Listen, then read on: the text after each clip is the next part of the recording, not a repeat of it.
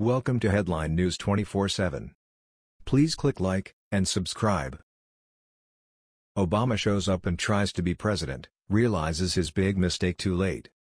Former President Barack Obama is apparently still having issues with the fact that he has been replaced by President Donald Trump.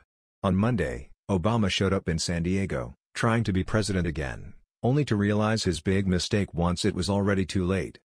According to the Daily Caller, Obama had somethingly veiled criticism for President Trump during a discussion at the ATD International Conference and Exposition in San Diego on Monday, implying that American values are not being upheld.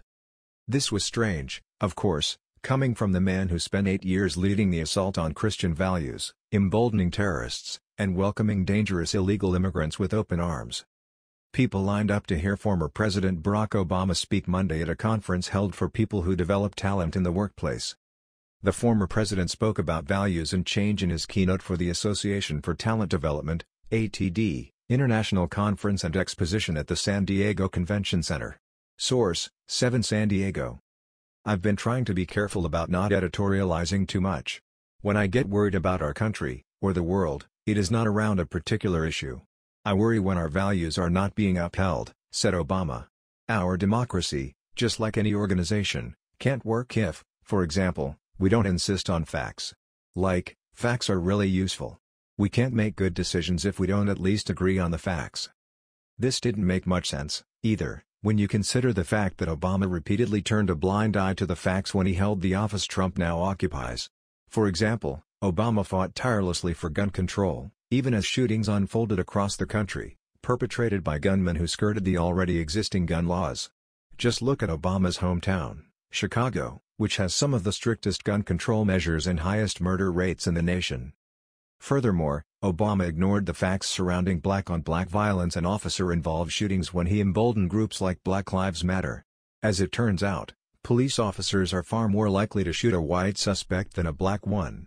But, that didn't stop Obama from championing Black Lives Matter and other activist groups, creating more racial division in our country than we have seen since the civil rights era. Moreover, the vast majority of violent crimes committed against black people are perpetrated by other blacks. These things seem to have been lost on the former president, though. I mean this in all seriousness.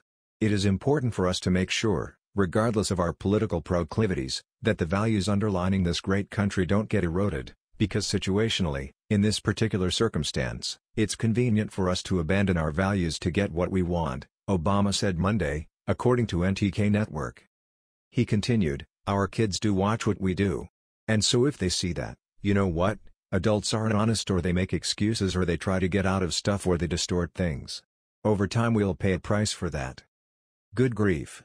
Ever since his inauguration, President Donald Trump has been hard at work restoring the American values our great nation was founded upon.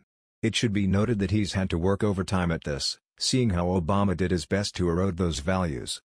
American values like faith, family, and freedom are now being represented once again in the White House, courtesy of President Donald Trump. Barack Obama, on the other hand, is clearly out of touch with reality. That was the news. We thought you might be interested in knowing about this. Please click like and subscribe. Thank you.